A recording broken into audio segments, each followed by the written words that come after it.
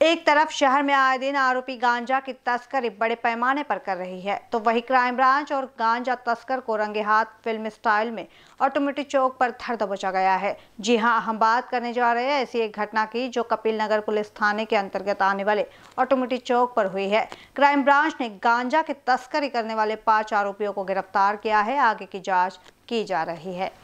Kapil Nagar police के हद में आने वाले ऑटोमेटिक चौक से सिल्वर कलर के एक चार पहिया वाहन से गांजे की तस्करी के लिए आरोपी जा रहे हैं। ऐसी जानकारी क्राइम ब्रांच को मिलते ही पुलिस ने फ़िल्म स्टाइल में ऑटोमेटिक चौक से आ रहे सिल्वर कलर की चार पहिया वाहन क्रमांक एम एच उन्नीस बी यू पचास शून्य तीन को रोककर वाहन की तलाशी ली गई। इस इनोवा कार से बहत्तर किलो तीन सौ अट्ठानवे ग्राम गांजा, जिसकी कीमत दस लाख पचासी हज़ार नौ सौ सत्तर, और मोबाइल इनोवा कार की कीमत नौ लाख ऐसा कुल मिलाकर बीस लाख इकतीस हज़ार नौ सौ सत्तर रुपयों का माल क्राइम ब्रांच ने जब्त किया है। इस घटना में लिप्त पाँच आरोपियों को गिरफ़्तार कर लिया है। उन्हें कोर्ट में पुलिस ने पेश किया है।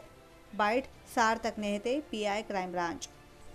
Punjab को नशा पट्टी का राज्य कहा जाता है, लेकिन राज्य के नागपुर में आए दिन धड़ल्ले से गांजा तस्करी हो रही है। चोर पुलिस के इस खेल में आखिरकार गांजा तस्कर पर कार्रवाई होते दिख रही है।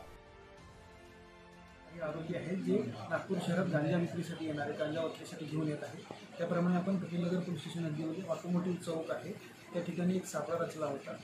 सकाळी आपण त्यांना एक इनोवा कार आहे एन एच एकोणास जळगावपासूनची त्या कारमधून आपण दोन आरोपी आणि जवळपास त्र्याहत्तर किलो गांजा जप्त केलेला आहे. त्या दोन आरोपींना त्या ठिकाणी विचारपूस करता त्यांचे तीन साथीदार हे बुटीबोरी येथे एका हॉटेलमध्ये थांबलेले होते.